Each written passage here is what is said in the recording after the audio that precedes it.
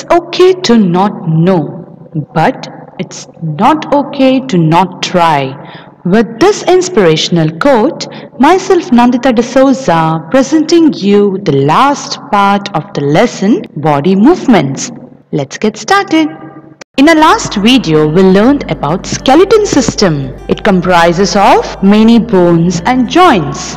There are some additional parts of the skeleton that are not as hard as the bones and which can be bent. What are these? These are known as cartilage. Cartilage is a soft bone tissue that connects joints. It is present in external parts like the ear and nose.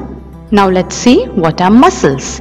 Muscles are soft tissue which has the ability to contract. It is attached to bones by tendons. All movement in the body is controlled by muscles. Our bone move by the contraction and extension of our skeletal muscles. Two muscles move together to move a bone. When one of them contracts, the bone is pulled in that direction. The other muscle of the pair relaxes. To move the bone in the opposite direction, the relaxed muscle contracts to pull the bone towards its original position while the first relaxes. A muscle can only pull, it cannot push. Now, let's study the last topic from this chapter that is gait of animals.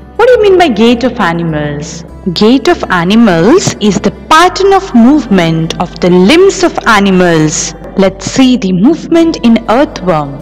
Earthworm move easily in hard and slippery surfaces. Earthworms have tiny stiff hair-like projections called bristles onto their body. They grab the soil with the help of these bristles. Earthworms first stretch and contract their muscles to move. As a result, they cover only a small distance with every move. A slimy substance secreted by the earthworm helps it to move. Now let's see the movement in snail. The outer skeleton of the snail, the shell is made up of calcium carbonate. The snail pulls the shell along as it moves.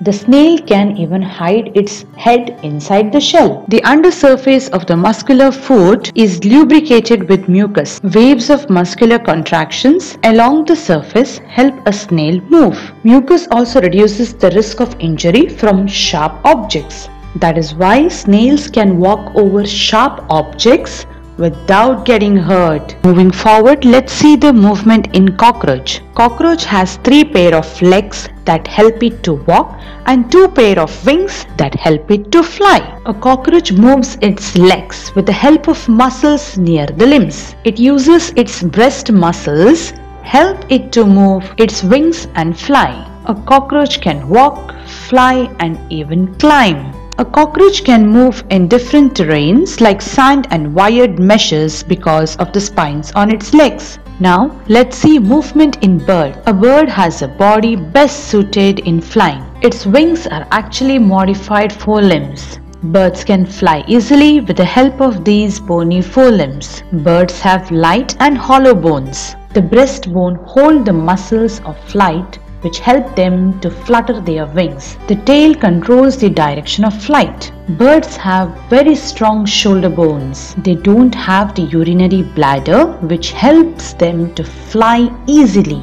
They can walk and perch on trees with the help of the hind limbs. Now we'll study about the streamlined body. The shape of many objects moving through air or water is designed in such a way that the friction can be reduced between the objects and water or air. The shape of the body is called streamlined body. Movement in fish. Fish has a streamlined body which helps them move fast in water. Fish swim with the help of their fins. The tail moves from side to side and helps the fish swim in the right direction. Some fish, however, move by bending their bodies from one side to another in quick succession, which produces the thrust that helps it move forward. Let's see the movement in snake. Snakes move in S-shaped loops and in a zigzag manner. They cannot move in a straight line. They have difficulties in moving on very smooth surfaces. Snakes have a long backbone and many interconnected muscles that help them to slither. Snakes can move in grass, sand and water. Snakes do not have arms or legs, but even then they can climb trees. Let's take a quick recap on what we have studied. There is always movement in body even when a person is sitting or lying down.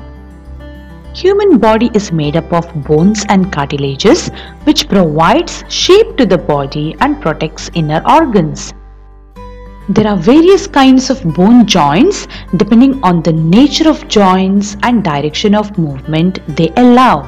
The movement of body is controlled by alternate contractions and relaxations of two sets of muscles Earthworms move by alternate extension and contraction of the body using muscles. Snails move with the help of a muscular foot. Snakes slither on the ground by loping sideways. The body and legs of cockroaches have hard coverings forming an outer skeleton. Fish swim by forming loops alternately on two sides of the body. The birds are able to fly with the help of strong muscles and light bones. So here I wind up my lesson, the body movements. Don't forget to subscribe to my channel Enkindle Kids Learning for all the upcoming videos.